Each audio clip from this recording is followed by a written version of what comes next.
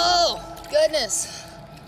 Just finished breaststroke practice. Uh, it was pretty rough today. I'm gonna tell you what the set was.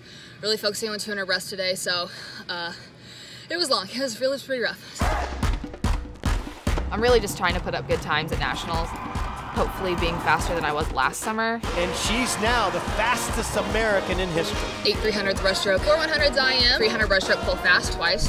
Right into it, right into it, come on! When you do have a race that's hyped up like that, it's a lot of pressure, I think. And it's hard to swim three races fast in a row. Let's hear it for your champion, Lilly King. Lilly, Lilly King. 100 kick, three kicks, one pull, 100 swim, double pull out. Probably the hardest thing I've done in this group. It was awful. let's go, let's go. Stay with him. I'm doing all this to be the best breaststroker in the world.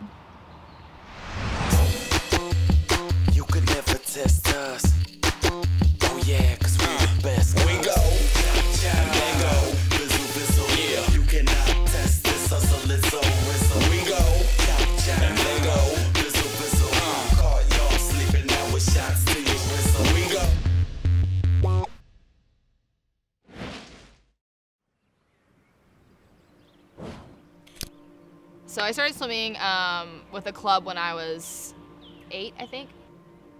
It was a really small club. We didn't have a lot of lane space, but you know, we had fun and we made the best of it, and that's kind of what got me here. Let's stretch and let's get ready to get in. I really wasn't even intending on going to IU. Since I'm from Indiana, I wanted to like leave the state and do something new, and then um, I honestly realized that I love it here. It's all out, all practice, but that's what makes me good is, is those hard sets and pushing through when I don't want to. So it's it's all good. Good 5 200 IM, 25 kick, 25 swim build on 350. Mike is a man of few words, so when he does say something, it has a lot of meaning to it. Lilly King has quite a few medals in the short term of her international career.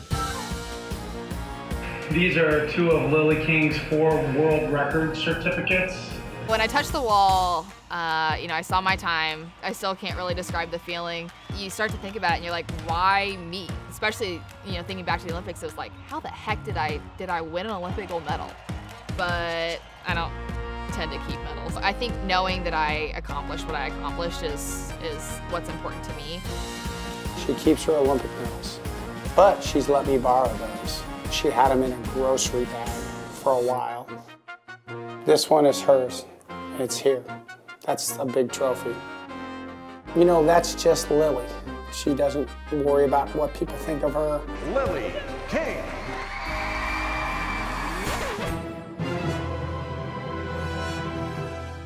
Question, what's up with the Crocs?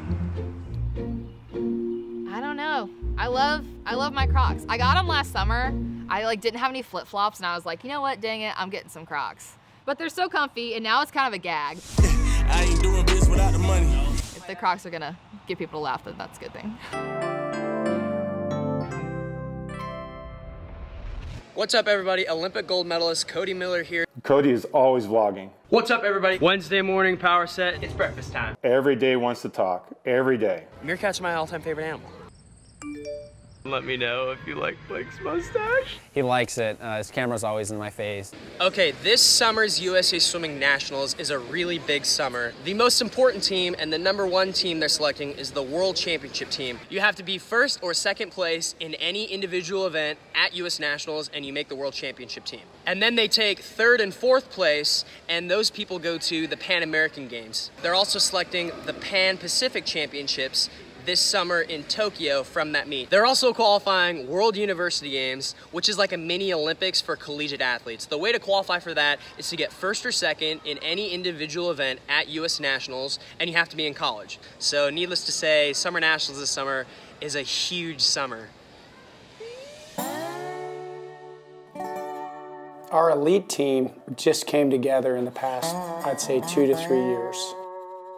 It pretty much started with the 2016, you know, Olympics, getting kids there for the U.S. and then winning gold medals, and then more people came. We're firm believers in grit here. And part of grit, as we define it, is having a growth mindset. We believe that you can expand ability.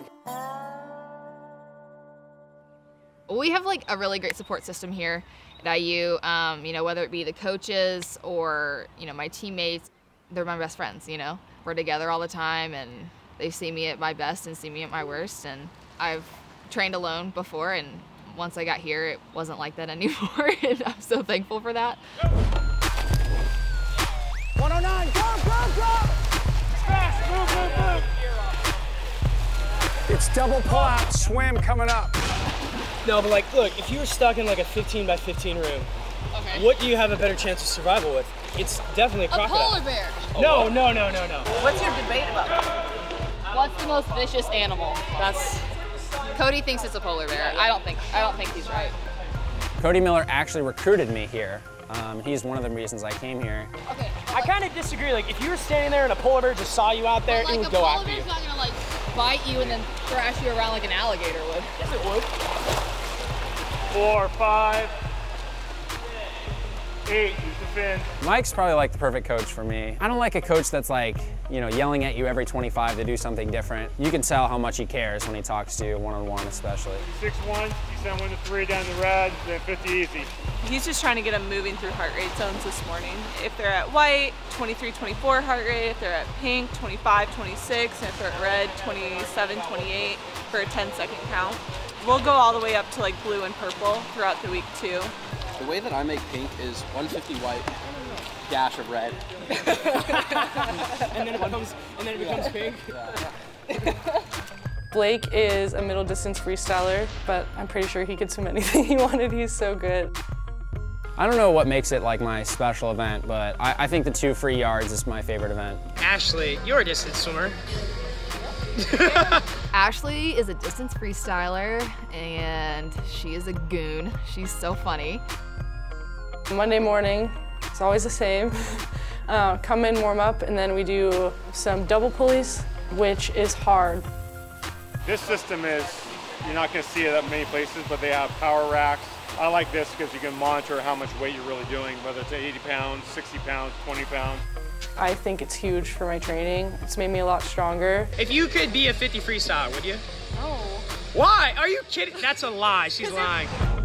Quick, quick, quick! I think finding the right environment is huge. You know, just having people in the same position as you has helped me a ton. We might have slightly different goals, but we're all, you know, giving 100% in these practices to achieve them. You know, I think just supporting your teammates and encouraging them at practice to swim as fast as they can, that's super important. Okay. I'm toast.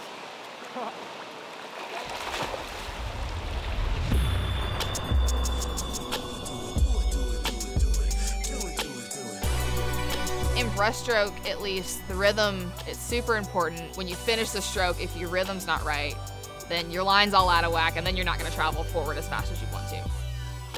It's almost like a golf swing. Like that's how I compare it to. Like you can try and smack the ball as hard as you can and it will go like three feet behind you, right? But like in breaststroke, it's like having the perfect timing, perfect technique and everything. It's really tricky stroke. I'ma show you how to grind, show you how to shine. Make sure you have a very fast kick that's really narrow. Work on ankle flexibility. That's huge for improving your kick. Pulling is really important. Having your arms be able to withstand an entire race, they're usually the first things of your body that tire. No matter how fast it gets, Ray is going to yell at you about your pull. Um, She's one of the best pullers. She should not be going that slow. if you watch the last 15 meters of my race, I pull away King looking to sweep the breaststroke event. because all I do at practice is pull. So I think that helps just because it's such an explosive stroke. You cannot do more than one dolphin kick on the pull-out, or you'll be disqualified. Go, girls, go! 109, go, go, go! Oh, learn to hold your breath. That's really important in breaststroke, um, just because, especially in short course, we're underwater for sometimes over half the race. So, kind of breaststrokers need to be able to hold their breath for sure.